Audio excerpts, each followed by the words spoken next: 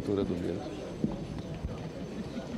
Requerimento número 1095 de 2012 requer a devolução simbólica dos mandatos dos ex-senadores cassados durante o regime militar e a realização de sessão do Senado Federal para homenageá-los e entregar às suas excelências os devidos diplomas.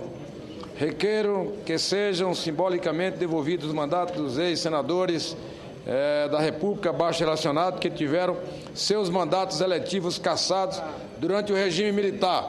Arão Streiburg, senador do Rio de Janeiro.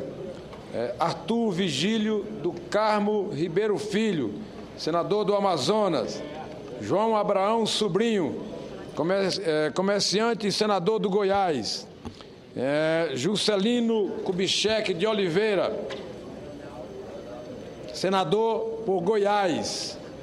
Marcelo Nunes de Alencar, suplente de senador pela Guanabara. Senador Mário de Souza Martins, senador pela Guanabara. Pedro Ludovico Teixeira, senador por Goiás. Wilson de Queiroz Campos, senador. Solicito também a realização de sessão do Senado Federal destinada a homenagear suas excelências e entregar-lhes os devidos diplomas. Salas das Sessões, dezembro de 2012. José, senador José Sarney, presidente do Senado e do Congresso Nacional. O requerimento que acaba de ser lido após a ordem do dia, durante a ordem do dia, será submetido à votação.